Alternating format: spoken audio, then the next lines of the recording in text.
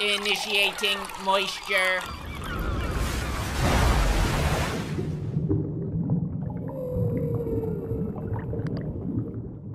Welcome to the Moist Meter. Today we're taking a look at Godzilla Cross Kong New Empire. I was a big fan of Godzilla vs. Kong, and as all of you know, 2023's movie of the year for me was Godzilla Minus One, so I've become a huge Godzilla enthusiast recently. There have been bangers in the Godzilla franchise, so I had very high expectations of this film going into it. And I'm gonna be honest, it's a bit of a mixed bag. I had a lot of fun with the movie, but it's undeniably a step down from Godzilla vs. Kong at least in my opinion, which makes it undeniable. So, I think the action in here is the best Kong action we've seen. King Kong is by far the star of the show. It's mainly a movie about Kong. Godzilla is more of just a cameo that appears every now and then. He's like a raid boss that pops up occasionally.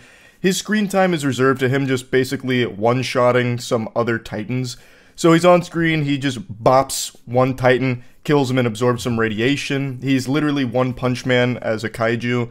He then bops another Titan, Tiamat, absorbs some radiation, then you don't see him again for like 45 minutes. Then he has a huge role to play at the very end, but it's mainly a movie that focuses on Kong. And I don't mind that at all. They did a really good job with King Kong. There's a super impressive like 20-25 minute scene without any dialogue at all, and it's Kong interacting with others in Hollow Earth, others of his kind, and without a single word being spoken, it's able to convey the entire story of what's happening with Kong finally realizing he's not alone. It's actually a really, really great scene.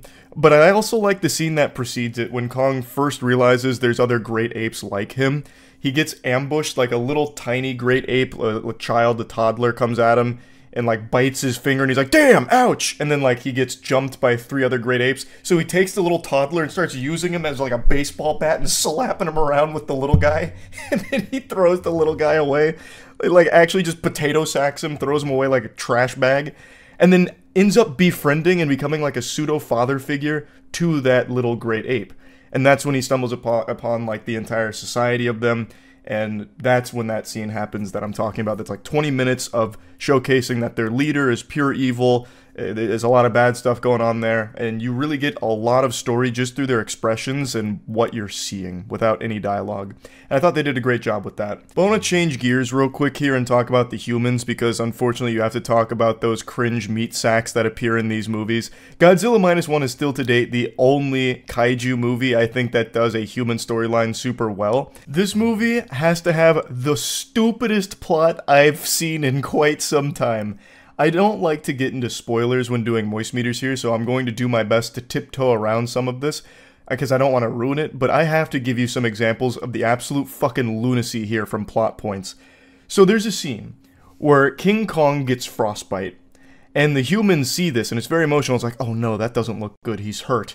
And then one of them goes, Eureka! I've got it. Doc, do you remember the Powerhouse project that the government cut funding to? And she's like, the Powerhouse? You can't mean Yes. And they're like, what is a powerhouse project? It was a project where we were going to make Titans stronger with augmentations. What do you mean augmentations? I'll show you. And he's like, it's luckily one of the prototypes got shipped out to Hollow Earth before the government pulled the funding. So the prototype is 500 feet away from where King Kong just collapsed. I'll go grab it. And the next scene is he goes to the armory that has the powerhouse prototype and he literally fucking airdrops a power glove, a Nintendo power glove, onto King Kong's arm, which immediately like autopilots onto it, and it also came with an anti-frostbite serum. I shit you not. An anti-frostbite serum, because I guess they knew this day was coming. They knew he'd suffer from frostbite eventually. So they made him the Infinity Gauntlet, and he wears it for the rest of the movie. Don't get me wrong, it's super fucking cool that King Kong starts walking around with a Robo Fisto but also, if you really stop to break it down, that is so nonsensical. Why? What are the odds? like, that's crazy. I, I mean, good on them for foreseeing such a crazy sequence of events happening with him getting frostbite on his hand and also collapsing pretty close to the armory so he could go grab it real quick for him. It's very, it, it's dumb things like that. Like, it's fun dumb. And I think it's self aware in its stupidity, because a scene that comes pretty shortly after that is a whole series of outlandish shit that I probably can't spoil. but it revolves around a psychic child who has this mission where they're basically the chosen one out of the Jedi prophecy, but instead of like a high midichlorian count, they're like super psychic and can summon a monster that will help them. And after all of this stuff is happening, also, there's a whole society of human beings that communicate with each other telepathically. So most of their scenes just revolve around, uh, revolve around them standing still, looking into each other's eyes, and then going away because they beamed, quantumly beamed all the information they needed to at each other. But any, I'm already getting lost explaining this this kind of shit. But anyway, after a lot of stuff like that happens, the same guy who brought the power glove is like, you know what? While we're just throwing weird shit at the wall and seeing what sticks, I've got a plan. I'll be right back. I'm gonna go try something. So then he disappears, and he comes back as like a fucking rodeo master with a bunch of birds shooting electricity, lightning bolts from behind him. like, and he just goes, "Yeah, my plan is so much weirder than what you think it's going to be." He disappears, vanishes, and somehow pulls off that maneuver. Again, it's super fun, just really dumb. I wouldn't be surprised to learn the writers were smoking crack, and for the last 30 minutes just told all of the actors to improvise, and they'll just wing it. That that's what it feels like. It felt like they had no idea where they were writing the humans or what the humans' role in here was even supposed to be. So they just did like a ghost stories dub where they just came in there and just got really wacky with it. They're just like, eh, this I mean, fine, fucking throw it in there, why not? It just doesn't really make any sense where the human plot goes. But again, that's not why you're going to see Godzilla Kong New Empire. No one cares about the human side. It's just something that takes up a lot of screen time. It's filler. It's literally the vegetables before you get the dessert, which is the kaiju fighting action. But I just had to mention it because it does take up a large chunk of screen time. They devote a lot of time to it, and it is something special. Hooey! I gotta also mention the dialogue, because the lines here it's written like a Saturday morning cartoon from the early 90s. Like that Powerhouse Project scene, that's pretty much exactly how it plays out.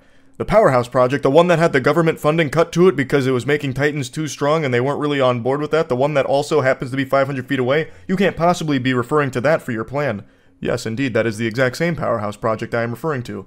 Like that, like that's how half of the human conversations go. Like it's super unrealistic. Honestly, towards the end of the movie, I was half expecting Godzilla to start talking. I thought we'd have ourselves like a Transformers Optimus Prime moment. Sam Witwicky, fetch me a jar of peanut butter and a condom. I'm going to Hollow Earth. But anyway, enough dwelling on that. The important part of the movie is all of the giant monster fighting is superb. Except for the ones where Godzilla just immediately kills them. I would have liked to see that a little bit more. It's just kind of underwhelming to have Godzilla come in here and one-shot some cool titans like Tiamat. I thought would have been a really cool fight to see, but it ends in 30 seconds. But King Kong is the star of the show. He's the one that does the bulk of the fighting, and his fights are exhilarating. There's even a scene where he like throws up a set where he was ready to like actually unleash martial arts or something for a second there. It's just really cool.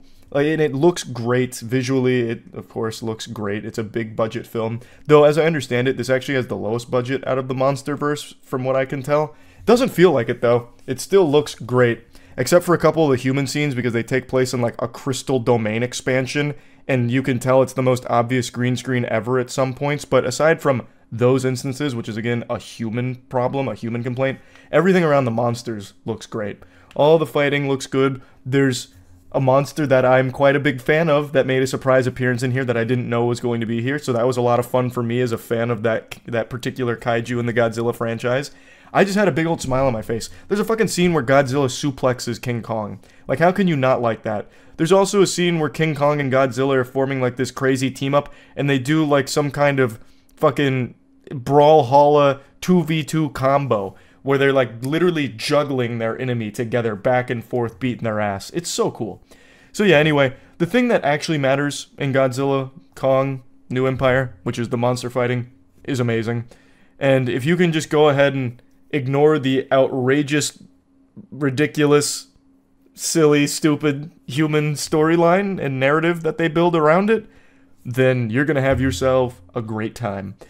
So plugging Godzilla Kong New Empire into the moist meter, I'm gonna give it a comfortable 70%. That feels right to me. I would have liked to see more scenes like the one I mentioned where it was no dialogue at all, just Kong interacting with all of the other great apes around him, and it telling a very compelling story. I could immediately tell what Kong was feeling and all of the other characters and immediately getting their motivations and what was going on there. It was super cool. I would like to see more of that. And of course, more fighting, even though there's a lot of fighting here, but you can never get enough. But anyway, I thought it was good, I enjoyed it. That's really about it. See ya.